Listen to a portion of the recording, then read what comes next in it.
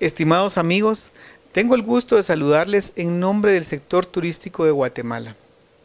Recientemente el volcán de fuego hizo erupción. Este cono volcánico está ubicado aproximadamente a unos 68 kilómetros de la ciudad de Guatemala. Los equipos de socorro han atendido la emergencia por medio de la Coordinadora Nacional para la Reducción de Desastres con Red.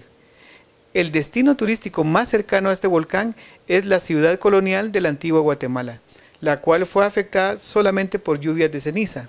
Sin embargo, luego de una pronta intervención de la municipalidad y los vecinos, se realizaron labores de limpieza y se ha verificado que el suministro de alimentos, energía eléctrica, internet y agua potable fluyen con normalidad. Esta información se ha constatado a través del Departamento de Asistencia Turística y el Centro de Operaciones de Emergencia a nivel nacional.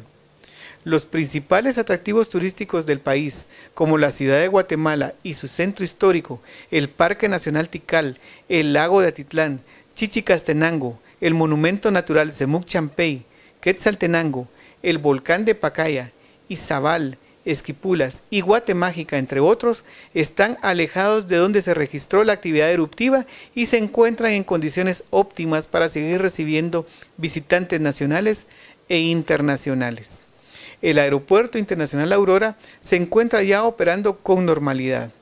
Las actividades económicas del país también se desarrollan de forma regular. Agradecemos las múltiples muestras de apoyo a nuestro país, hacia las familias afectadas, así como a los equipos que trabajan en la zona del volcán.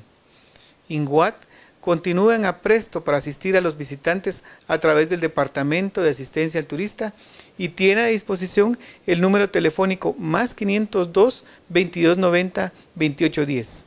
El mayor apoyo que podemos darle ahora a Guatemala es visitar y disfrutar de nuestros atractivos turísticos y de nuestra hospitalidad. Bienvenidos a Guatemala.